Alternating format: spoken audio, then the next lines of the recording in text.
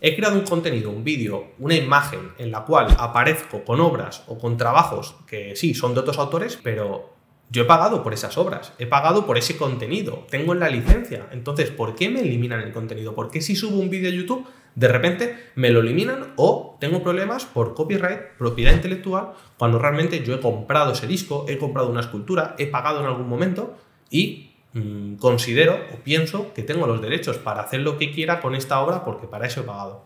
Eso es lo que vamos a ver en este vídeo en el cual te explico por qué han eliminado o pueden haber eliminado un contenido aunque hayas pagado para subirlo a YouTube.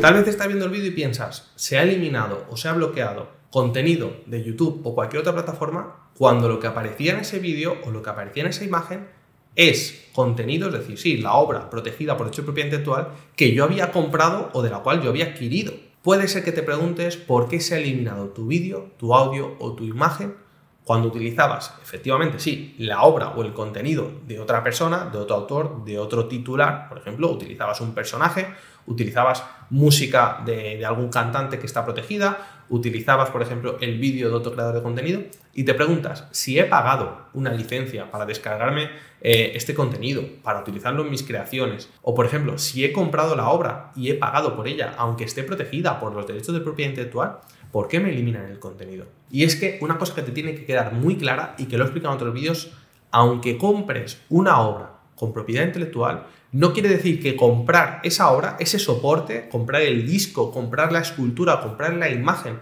comprar el vídeo, el CD, el DVD, no te da la licencia ni te ceden los derechos de propiedad intelectual. Es decir, aunque yo tenga un cuadro muy valorado en la pared de mi casa, no quiere decir que pueda crear contenidos, que pueda crear NFTs, NFTs, que pueda digitalizar la obra o que la pueda incluir en mis vídeos, en mis obras, en mis fotografías, etcétera, porque he pagado. No juntemos, no mezclemos los derechos. Recuerda, en otros vídeos te hablo cuáles son los derechos patrimoniales, ¿vale? Y por todas los morales de los autores. Incluso a veces pensamos que porque he mencionado al autor original, ya está, es un uso legítimo, es un uso razonable y por lo tanto estoy cumpliendo con la normativa propiedad intelectual.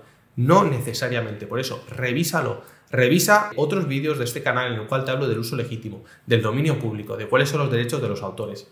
Porque aunque tengas la obra, hayas pagado por ella, o aunque respetes, hables bien del autor, lo cites, expliques que esta obra se pertenece a tu autor, si esta obra está apareciendo sin el consentimiento o la autorización, estamos en el mismo problema. Estamos utilizando una obra por la cual, aunque hemos pagado de cierta manera, no podemos utilizarla. Recuerda, en todos estos casos necesitarás el consentimiento del autor o de los titulares. Y esto quiere decir que no hay excepción. Puedes estar de acuerdo, puedes no estar de acuerdo, dímelo en los comentarios, incluso si tienes algún caso, algún ejemplo, algún problema que hayas resuelto o que estás pendiente de resolver, comenta en los comentarios porque incluso muchas veces puedes encontrar a tus usuarios con tu misma situación o tu mismo problema. Esto es lo que tenías que saber en el caso de que se haya eliminado tu contenido y digas, oye, yo había pagado por los derechos o tenía licencia.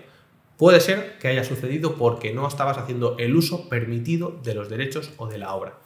Ten en cuenta, revisa si has pagado una licencia, revisa lo que pone esa licencia, revisa los derechos, los usos, o incluso a lo mejor tú podías subirlo, pero la plataforma YouTube no tiene permitido difundir ese tipo de contenidos. Así que te invito a que veas otros vídeos, resuelvas las dudas y por supuesto que conozcas más sobre el uso legítimo, cuáles son los usos que puedes hacer de contenidos que están protegidos por copyright o derechos de propiedad intelectual. Yo soy Pablo Maza, abogado especializado en propiedad intelectual. Espero que te haya resultado útil. Déjame un like, suscríbete y nos vemos en el siguiente vídeo.